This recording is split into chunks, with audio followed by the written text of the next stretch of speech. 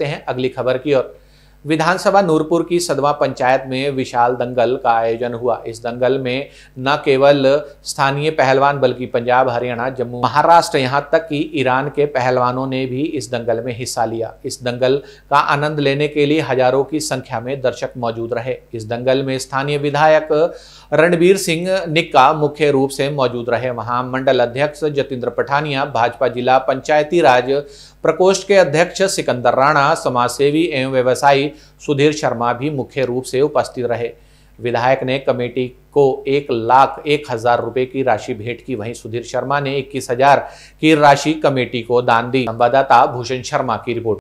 आज मैं शुभकामनाएँ देने के लिए सदवा पंचायत की जो हमारी दंगल कमेटी है, हमारे टोनी प्रधान जी और समस्त हमारी कमेटी, मैं सभी को बहुत बहुत बधाई देता हूँ कि इतने नामी पहलवान पूरे भारत वर्ष से जो कुश्तियाँ करने के लिए यहाँ पर पहुँचे। यहाँ पर मिर्ज़ा ईरानी और जस्सा पट्टी की जो कुश्ती हुई है, ऐसे ऐसे पहलवान हमारे बच्चों को भी सीखने को मिलता है कि इतने अच्छे अच्छे शरीर उन्होंने बनाए हैं। वो देश का नाम अपने रोशन करने के लिए हमारे हिमाचल के नूरपुर की सदमा की धरती पर वो पहुँचे हैं।